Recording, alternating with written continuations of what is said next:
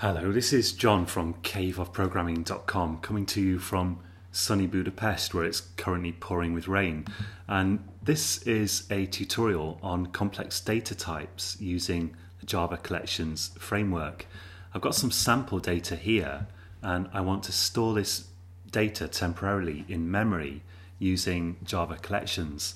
And the example that I'm about to show you is inspired by something I saw in a university syllabus. So uh, complex data structures are an important part of any programming language and uh, it's an important thing to know and you, you, also find them on university exams and coursework and stuff like that. So uh, I'm only going to show you a simple example here and in fact in general um, if you know what data you're going to represent in advance very often it's better to define some classes to hold that data. Like if you've got a list of people with a name and an ID and some other information, you would want to define a, um, a person class and then use an array list, for example, of those people. But sometimes you don't know in advance what kind of data you're going to represent in memory. For example, you're reading an XML file and you don't know what um, nodes that XML is going to have in there, or you're reading from a database um, or, or something like that and for some reason you uh, you you or yeah for some reason you can't define any useful classes.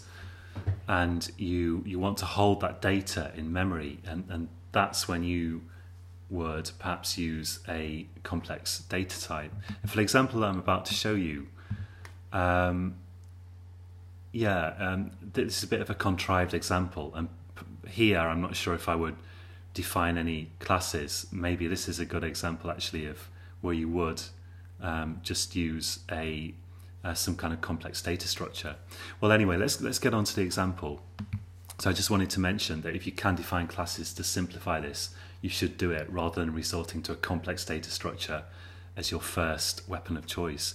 So here um, I've got a list of emergency vehicles, and I'm, I'm, normally this would be would be reading this from a file or a database or something or JSON server, I don't know. But um, to keep things simple here, I'm just using a 1D and a 2D array list to hold the data.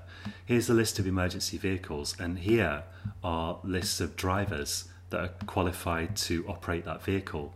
So um, these drivers can operate an ambulance, these drivers can operate, operate a helicopter, and these ones can run a lifeboat. And these are in order. So the idea is that if we have an emergency that requires, for example, a lifeboat, we'll go to the appropriate list of drivers or operators and uh, would choose Pete first. But if he's not available, we'll go to Mary. And if she's not available, we'll try Bob. So the, this is an ordered list. And how can we represent this? in the memory of the computer. I'm going to rush through this pretty quickly because most of the concepts that you'll see here I've described in previous videos. I just wanted to put one simple example here of a more complicated kind of nested data structure. So ideally, uh, you'd want to use a list to hold stuff. Um, it's very quick and efficient to look things up by an index and a list. But here we want to look things up using a string. Uh, so we're going to use a map instead.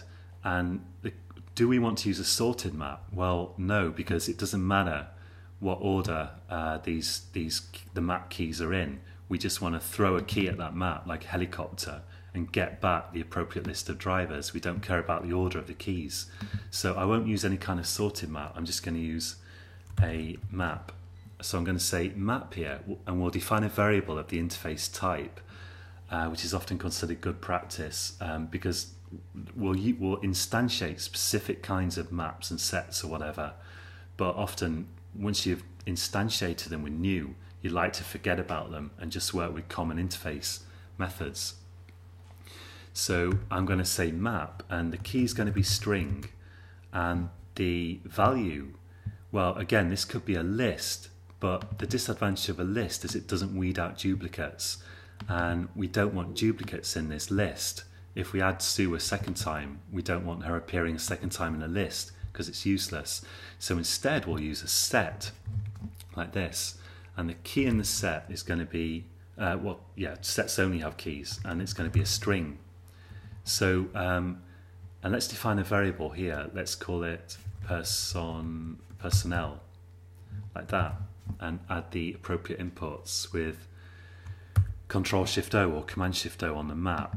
So you see that I'm nesting one kind of interface um, uh, definition here, uh, interface um, usage within another like this. So I've got uh, two, finishing with two diamond brackets here because these are nested within this. And now we need to instantiate a particular type of map to hold this data. And since it's not sorted, we can use the most efficient, simplest type, which is just hash map, and put the diamond brackets in again, and then round brackets there, which you always need with when you're doing new, which I've forgotten. So let's put new in there.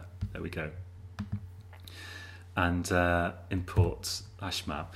And if you're using Java 7, you can miss, you can just have diamond brackets here, and you don't have to repeat all this. If you're using Java 6 or lower, then you will have to repeat all this. It doesn't do any harm, so I'll put it in here anyway, because a lot of people are still using Java 6, I think. But um, if you're on Java 7, you just need a diamond brackets there, and Java will figure out the type because you've already specified it here.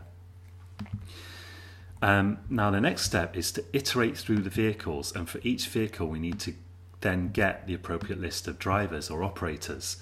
And so uh, to correlate these two arrays here, we're going to need to use an index. So I'm going to iterate through this array using an index, and I'll use that index to then get the appropriate list of drivers here. So let's say for int i equals naught, i less than, and we want to iterate from naught to less than the one less than the length of this list. So let's say vehicles, vehicles dot length. Remember, with a simple array list, the um, the length is stored in the length property uh, with a um, with a set like a collection type. Usually use the size method to get the length of it, it's just a simple property for an array. So there's no round brackets there. And let's say here via uh, i plus plus, and then we can put in the curly parentheses like that. And whoops, and now I can get the vehicle here. I can say string vehicle equals via vehicles and square brackets i. And I can get the kind of subarray from this 2D array here. So I can say string array um, I can't call this drivers because I've already used the name drivers. So let's call this drivers list equals drivers and again supply the index. Um, now we can create uh, our set to hold the drivers and let's say set string and we're actually because we haven't we created the map with new, we haven't actually created any sets. We've only said that there is going to be a set with this interface here. Let's say set string driver set equals new, and we have to decide what kind of set to use. And we know it's going to be a sorted set, so that means either tree set or linked hash set. And uh, tree set would sort these in alphabetical order, and we don't want that. We want them to remain in the order that we add them in. So let's say linked hash set, and that will remove duplicates for us if there should be any added from our data source. There aren't any duplicates here, but if there were, this would sort them out. And now we want to iterate through our list of drivers and add them to the set.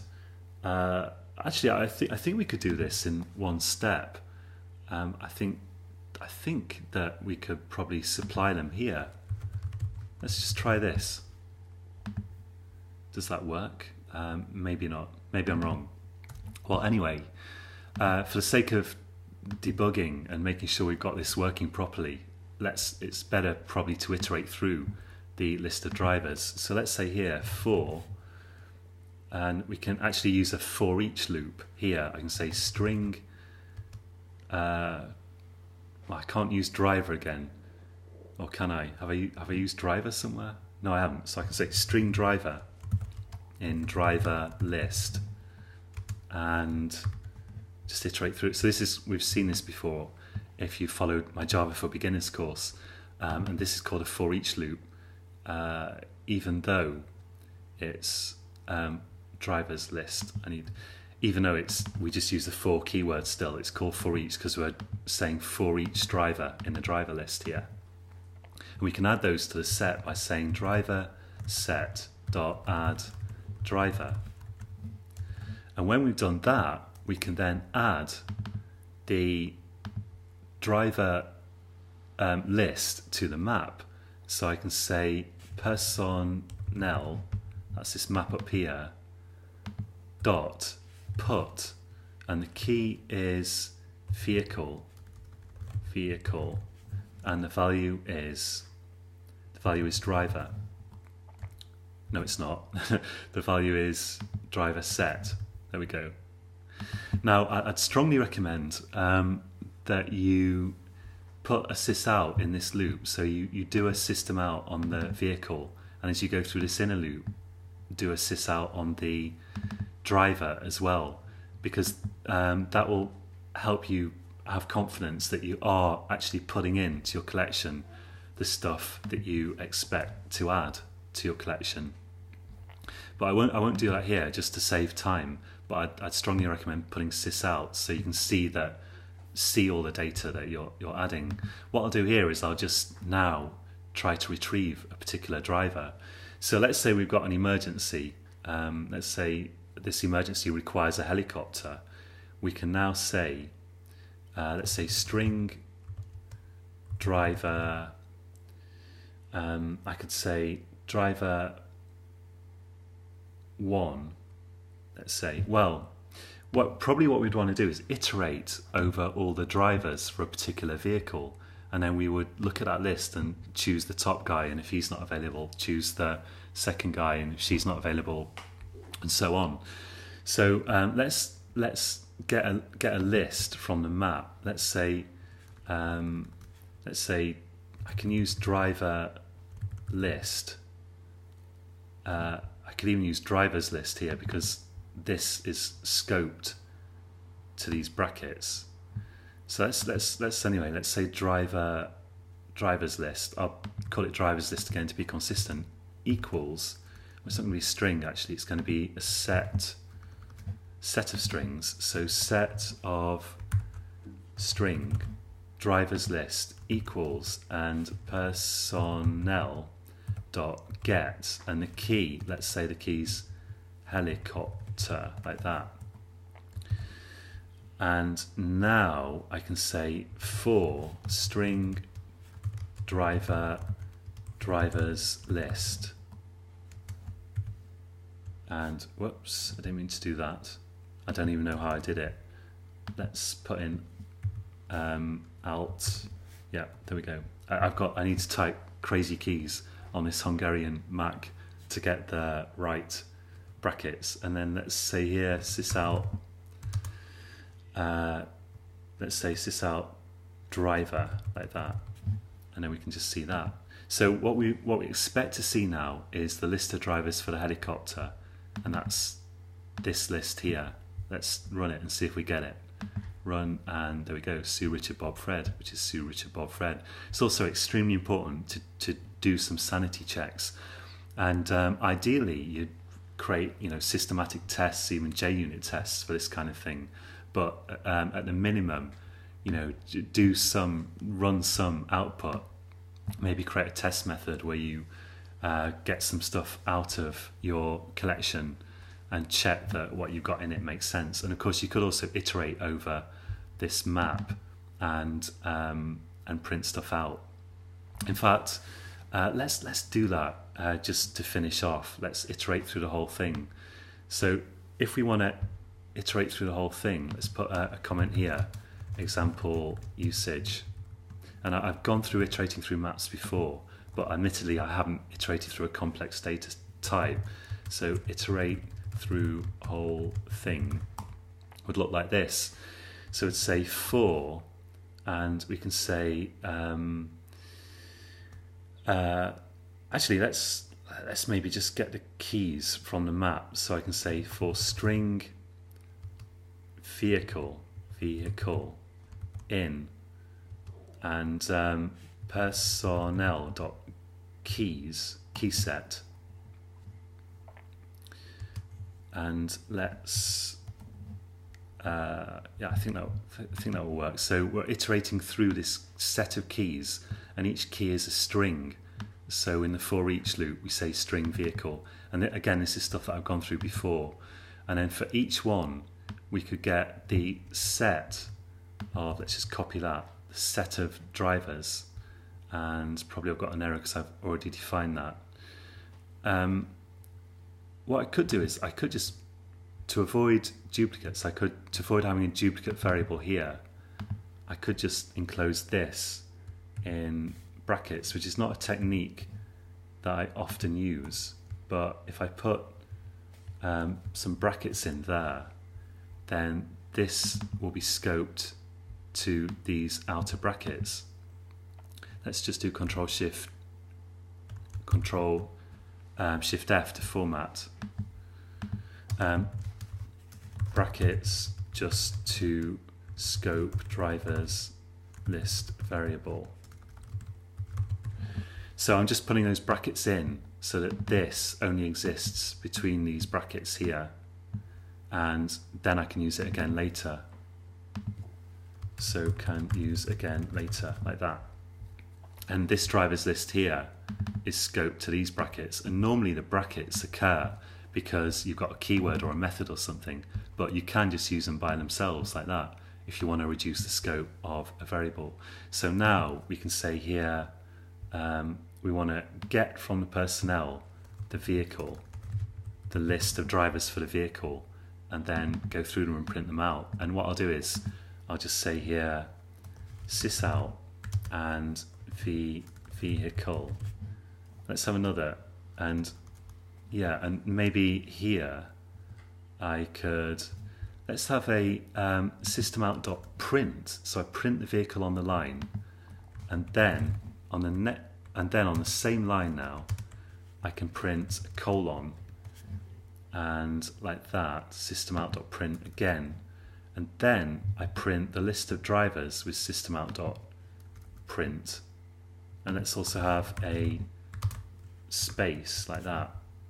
And then finally let's have a sysout that just uh, just an empty sysout to just produce a new line at the end.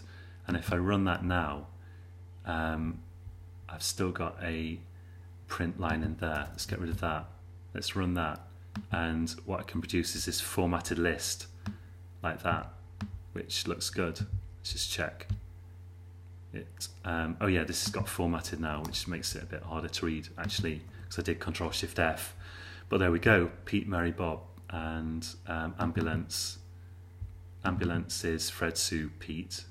Helicopter is Sue Richard Bob Fred helicopter Sue Richard Bob Fred so that's that's all good and they're all in order notice it's just that these their vehicles are in a different order because I stored them in an unsorted map so that's that's quite enough for this tutorial. It's it's a long business, um, but I wanted to give you uh, an example of the sort of stuff that I've seen on university um, syllabuses and stuff that's useful to know.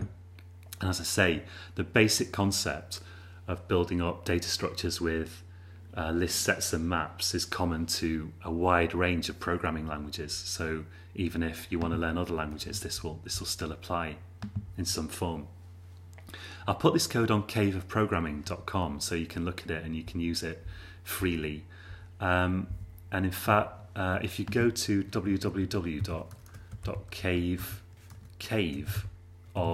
www.cavecaveofprogramming.com, then uh, a lot of people ask me where to find the source code, for example, for Java for Beginners or my multi-threading course.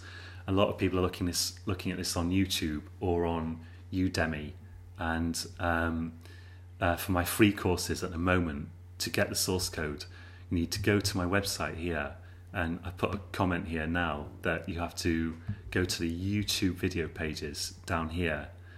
And these these are all free tutorials and for example um, this tutorial that I'm recording now, that's going to be under Java collections framework here, and you'll be you'll have a part 13. And if you click on any one of these videos here, you can see the source code. Usually, I've embedded it in a page like this, so you can copy and, and paste if you want.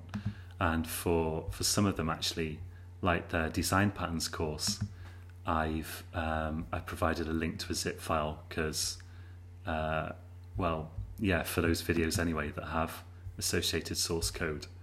And you, you can also let's take a look at an example here. So yeah, there's uh, a link to the source code here and zipped up because there's several files involved. And um, you can also follow my courses on Udemy. If you click these icons at the top, you can see some of them are free, and the ones that you have to pay for, they all have free videos. So uh, if you want to learn Java Swing, for example, then um, if you click on this and uh, well, let's, let's go to incognito window. You can look at the first videos completely for free. So here, all you have to do is, is click on them and they'll start hopefully playing. Okay, so that's it for this tutorial and um, I think this finishes the, stuff that I'm going to do on collections unless you want to make a, a request of some kind. But I'm going to continue with my um, Java for Beginners course, certainly, and there's more stuff there. And my Java Design Patterns course, there's also more stuff to come in in that. Uh, and um, there'll be more courses from me shortly, possibly on Java Spring. So um, until next time, happy coding.